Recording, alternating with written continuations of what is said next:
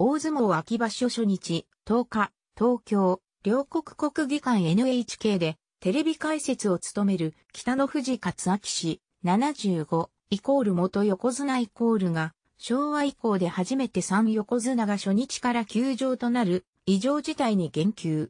怪我だから仕方がないと言えば仕方がないとため息をついた。白鵬32、稀勢の里31、角竜32の三横綱が休場。優勝争いは混戦必至だ。一人横綱となった春馬富士33も両肘や両膝などに不安を抱えるが、4横綱となった春場所以降はただ一人休場がなく、すべて二桁勝利。中盤戦から調子を上げるタイプだけに、取りこぼしをなくせば7場所ぶり9度目の優勝へ視界が開ける。